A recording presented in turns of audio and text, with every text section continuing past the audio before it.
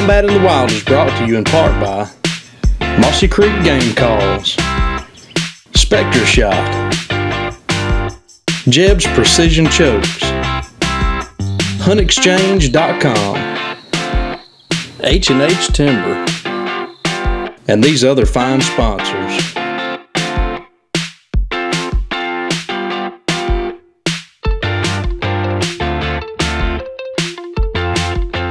Welcome to this week's show of Combat in the Wild. We got a short bow hunt coming to you. Man, I had a miserable bow season last year. It was like I couldn't hit the broadside of a barn.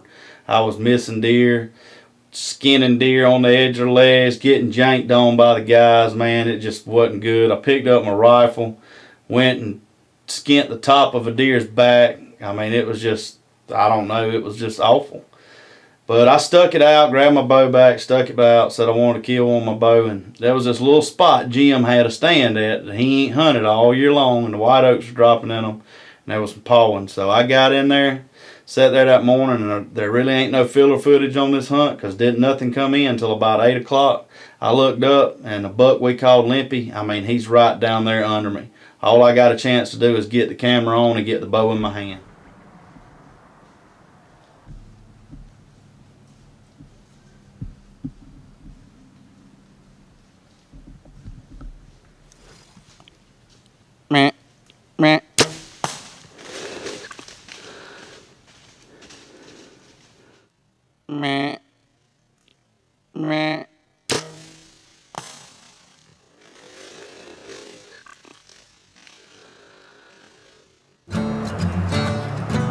Well, as you see, I just shot a buck.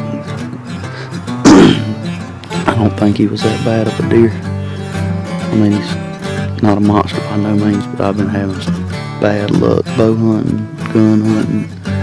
I wanted to kill me a decent deer with my bow. I've been wanting to kill one with my bow. I ain't killed one a buck with my bow in a few years, so I'm, I'm gonna be proud of him. I mean, he's he's a decent buck, good body size buck. Um, sitting in here on some white oaks. I mean, you can see behind me, I'm sitting on a white oak tree. They feed pretty good. He come in and um, checked the paw and what he done. Checked the paw and he come up the ridge and gave me a good shot. The shot looked pretty good. Looked like it might have been a heart shot. I mean, I got the good donkey kick and all that out of it. So we're gonna sit here for a little while, you know, give him a while. So I might let Jim or somebody come in and help me do the recovery, but. It's October the 26th, so the bucks they starting to cruise and do their thing. So need to be in a deer stand. Gun season, taking one with a bow. That's, I mean, I love it. I love it.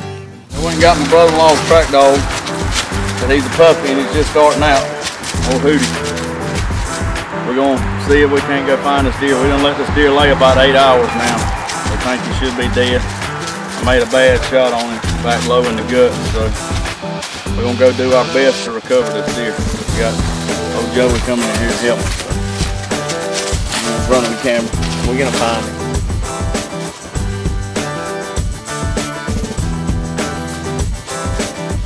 Was he on him?